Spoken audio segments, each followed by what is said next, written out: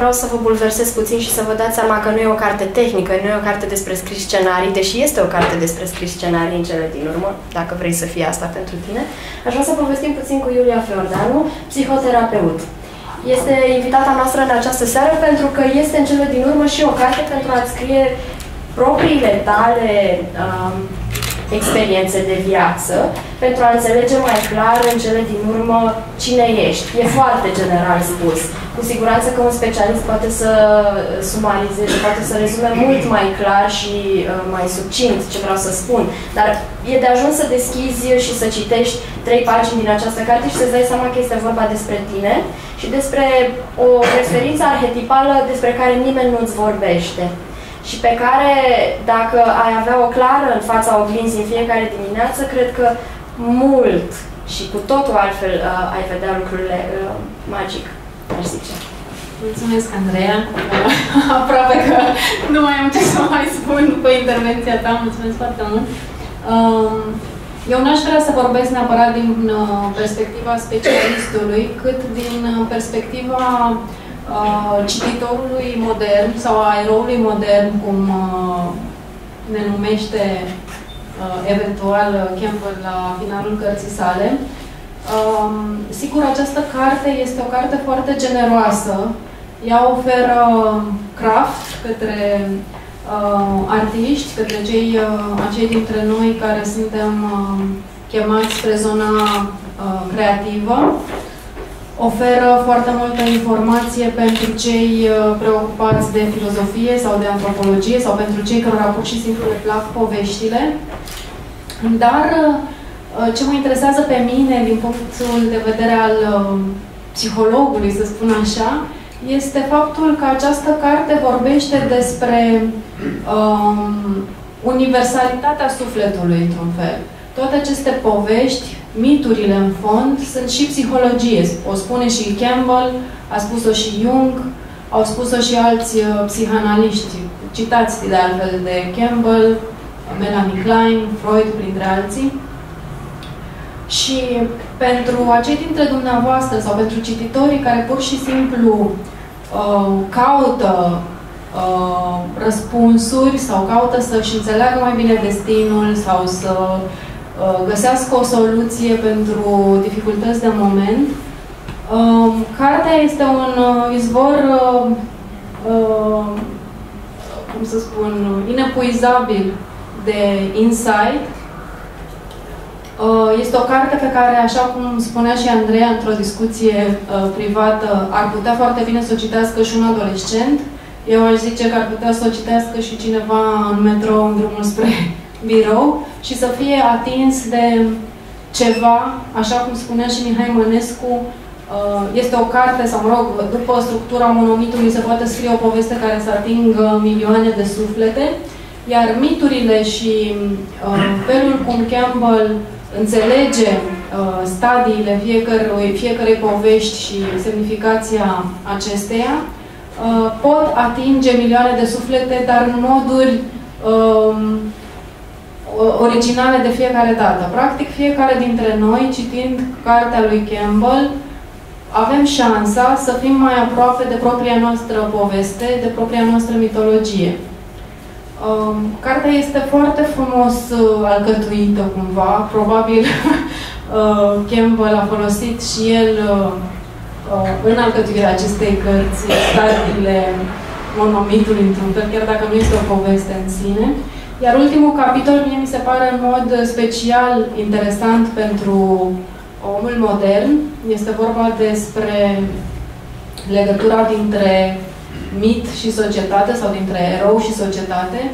Și uh, dacă îmi permiteți, aș vrea să închei uh, intervenția mea cu cuvântul lui Campbell și cu finalul acestei cărți, care mi se pare uh, foarte, uh, cum să spun, uh, uh, inspirator, dacă pot să spun așa, să nu zic inspirațional, că nu îmi place.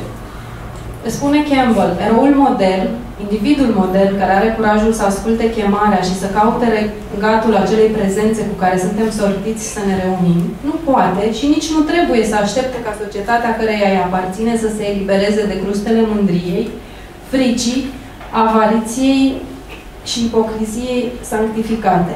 Nu societatea este cea care trebuie să-l călăuzească și să-l salveze pe eroul creativ, ci exact invers. Și astfel, fiecare dintre noi ia parte la încercarea supremă, adică poartă crucea Mântuitorului, nu în momentele strălucitoare ale mărețelor victoriei dobândite de tribul său, ci în tăcerile propriei sale disperări. Astfel, această carte, pe lângă o lectură uh, foarte interesantă, vă poate uh, oferi și uh, un anumit tip de ghidaj care să vă acompanieze în momentele dificile ale vieții dumneavoastră. Iulia, înainte să, înainte să închidem uh, insight-ul acesta de natură psihologică, vreau să ne spui doar câteva cuvinte despre cum ți se pare prima parte a cărții, care începe cu un lucru absolut aventuros, ciudat pentru 2014. Este o invitație la a nu îți mai ignora visele și la faptul că viața pe care o ai tu nocturn nu este un, lucru, un tărâm uh, iluzoriu și care trebuie ignorat pentru că în realitate nu te ajută cu absolut nimic, ci din contră este o oglindă pentru ceea ce ești.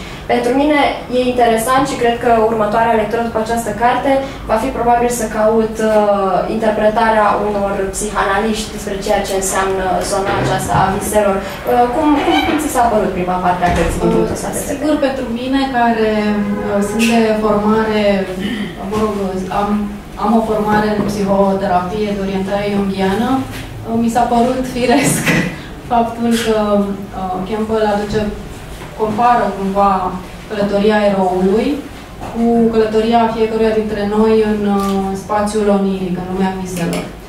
Sigur că este foarte important să ne ascultăm visele și psihanaliștii clasici, Jung și Freud și cei moderni deopotrivă insistă să ne notăm visele și să le uh, acordăm importanță. Din păcate, eu nu sunt foarte optimistă. Văd că oamenii cred din ce în ce mai puțin astăzi în visele lor, de aceea sper încă o dată ca lectura acestei cărți să-i facă mai atenți și la aventurile onirice uh, de peste zi, de peste noapte, de fapt, prin care toți trecem. Pentru că, într-adevăr, um, există mari, mari similitudini între conținutul viselor noastre și mitologii și există o carte, cred că pot să fac referințe fără să fie o problemă, uh, cartea lui Jung, uh, Psihologie și Alchimie, în care se, el, Jung arată foarte clar cum există uh, o, o coincidență aproape incredibilă între visele unei persoane și anumite mitologii de care acest individ, cel care visa, nu auzise în viața lui, era total Uh, inconștient. Uh, sigur, eu personal nu am nevoie de astfel de dovezi. Sunt ferm convinsă că lumea sufletului o regăsim atât uh, în vise cât și în mituri și este aceeași dimensiune uh, a sufletului. Dar sper ca citindu-l pe Campbell, care este foarte carismatic și uh, spune lucruri pline de profunzime, în cuvinte foarte simple și ușor de digerat, să vă apropiați și dumneavoastră sau cititorii acestei cărți să se apropie mai mult de lumea sufletului lor și să-și asculte visele. Mai multă atenție. Am eu o mică mențiune, pentru că ați menționat de Jung, este important ca cititorii să știe că Joseph Campbell a fost un discipol al lui Jung, el participând în nenumărate rânduri la conferințele Eranos. Uh, evident, inspirația lui Campbell este de sorginte jungiană și tot așa, ca un mic detaliu, la conferințele de la Erano s-a participat și Mircea Eliade, deci există multe similitudini între Jung, Eliade, Campbell. Asta am vrut să spun. Ce vreau să mai completez este că această carte și, de fapt, subiectul ei, mitologia, este dincolo de, de o abordare psihanalitică sau alta. E vorba de o sursă universală de înțelepciune și de aceea cartea este atât de generoasă cu oricare dintre cititorii săi, de orice orientare filozofică, religioasă sau de orice fel ar fi. De asemenea, mai vreau să spun un lucru care m-a impresionat când am citit cartea. Puteți avea ocazia să constatați cât de asemănătoare sunt alte mitologii cu propria noastră mitologie românească și unele din basmele noastre, lucru pe care nu știam înainte să citesc pe Campbell.